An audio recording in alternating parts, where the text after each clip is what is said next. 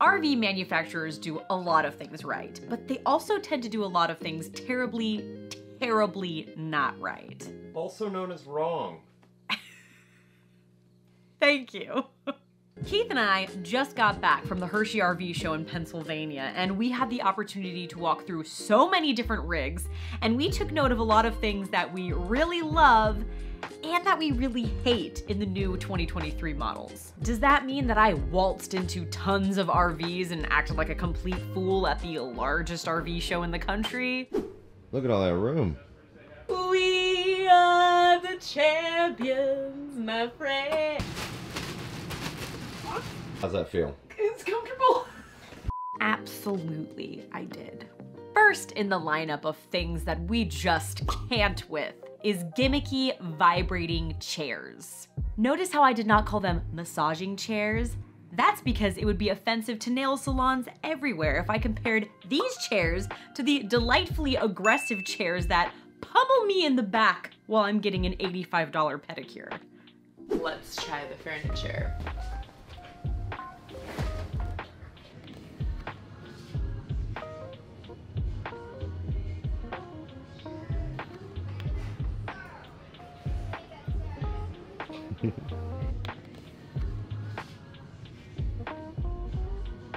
Look, I understand that the idea of these chairs is to have a nice, relaxing, heated massage while you're sitting down in the evening and watching your favorite TV show, but the reality is, they feel like there's a sack of angry bees stored in the back cushion of the chair. Really, RV manufacturers, just stop pouring your time and money into these gimmicky vibrating chairs because there are plenty of other places that you could be spending your money in RVs, which leads me into basically all of my next points.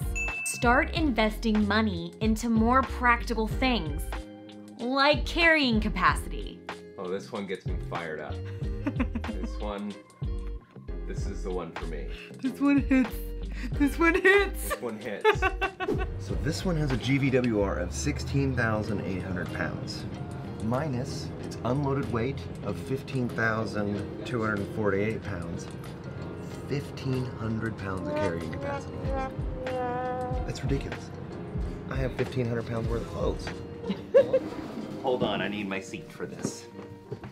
Look, people who design RVs, you're actually making the world a more dangerous place when you do things like this because people are not going to look at it and go, oh, I only have 1,500 pounds, let me take only half the stuff I normally take. They're gonna take it all and they're not gonna care. And now everybody's overweight, so it's kind of your fault. Kinda. To help visualize what we're talking about here, I've got a perfect, I got a perfect analogy. So, Raini's a sensitive little sunflower. She gets cold. And when you're cold, what do you buy? You buy you buy a sweater. So Raini, I bought you a new sweater, Oh, you did? and I would like you to put it on. Okay. Just put it on. Thanks. Okay, mm-hmm. I'll put it on. Okay, I'm here. now, this this is your RV with undersized axles and weight rating. And you can give me this whole argument, oh, you can upgrade. Well, you can upgrade the sweater to a full sweater. That's not the point. Nobody wants a half a sweater when they buy it. They want the whole sweater. They want all the weight capacity when they buy an RV. So stop with this half weight capacity nonsense and just go with the full weight capacity. Okay, I'm done. Ooh, see, yeah, now you've got us both all fired up about what we hate about RVs. So let's just, let's let past dramatic Raini take the lead on this next point. I loathe entirely these tiny little infant sinks. Put your paws in there. But like more, how am I supposed to wash my face?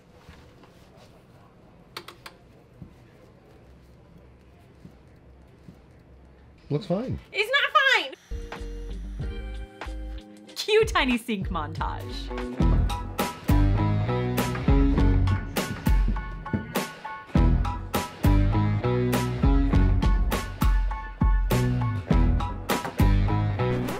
Sometimes it's hard being a human being with basic hygiene requirements.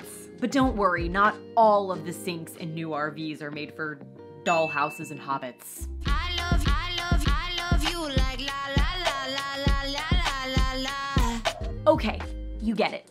Stop with the tiny sinks. Now, this next thing that Keith and I hate is found in all RVs across the universe, and it is definitely something that we can all universally agree upon as awful.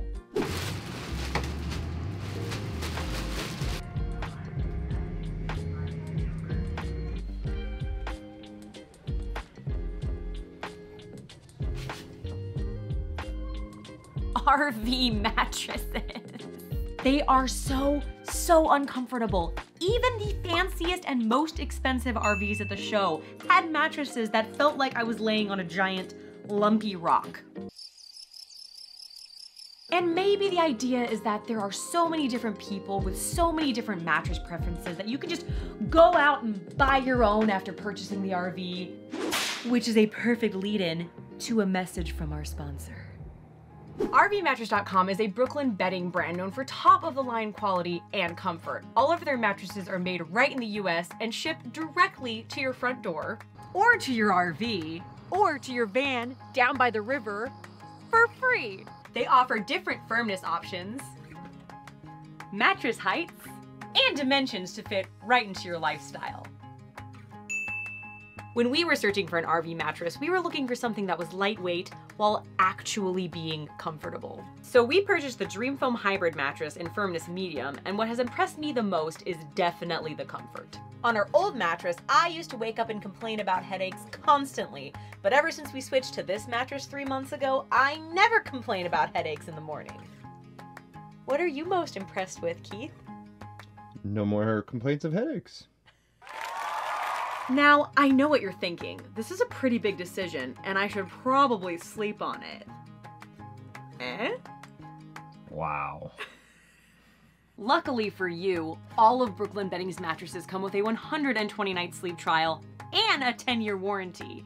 So, you can sleep on it all you want. Oh my god, is that continued? If you are looking for a new RV mattress, or if you just bought a new RV because, trust me, you're looking for a new mattress, then check out rvmattress.com. You can click the link below or go to rvmattress.com slash Keith and Raini and get 20% off using code Keith and Raini.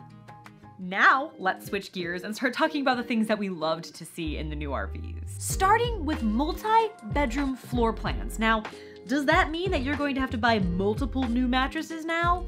Probably. But holy possibilities, Batman. This one has a second bedroom, which is crazy. There's so many possibilities in here. You could have an office next to the bed, so much room for activities, or you could have 18 children, or you could hit the road with your best friend and have a roommate.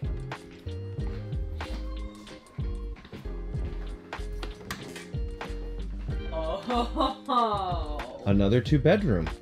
Separate bunkhouse. A separate room. You want to see something cool?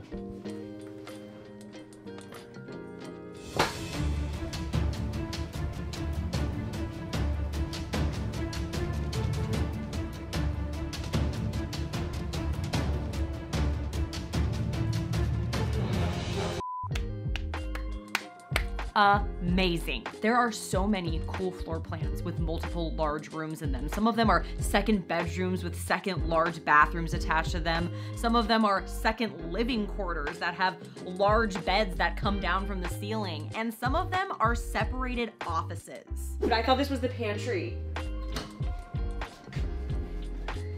How's that feel? It's comfortable. I cannot express to you how happy it makes us to see RV layouts that consider the working nomad. Even RVs that now have a designated little office space within the typical floor plans that we usually see. And this is so important because I don't know if you all remember the year 2020. But something happened that year that created a ton of work from home jobs, and we know a lot of people who now travel and work remote. So we love to see office spaces in RVs. 10 out of 10. Keep it up. Another noteworthy improvement that we saw in a lot of the new models was brighter and more modern interiors. Overall, we were very impressed with the look and design of these RVs and could tell that manufacturers are finally listening to the suggestions of their customers. However, we did see a few things that were a bit questionable from a designer's choice. Are those tie downs for night fun? I don't think they thought of that. So give us your thoughts on things that you love and hate to see in new RVs, and let's chat about it in the comments because that's one of the reasons we started this channel was to create community and to connect with you. I hope you had fun hanging out with us today. If you're curious of what we're up to lately, check out this playlist right here, and we'll see you on the next one.